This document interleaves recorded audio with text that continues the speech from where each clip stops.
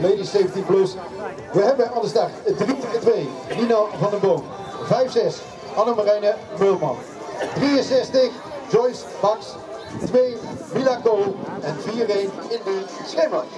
Schemers.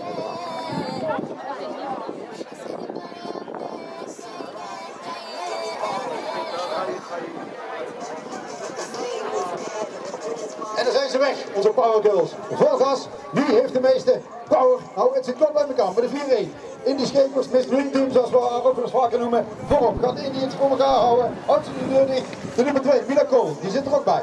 En daar eh, een stukje achter, daar links achter van 6, de 5-6. Annemarijn Mulman. Kijkt ook of de deur open gaat. Maar wat doet Mr. Vriendin? Mr. Vriendin die zet de schuif erop, die zet de deur niet open, die denkt ik, ik ga vandaag die maximale punten halen. En de tweede plek is voor Milako en Anne Marijne gaat die voor nummer 3, voor bronzen plank vandaag.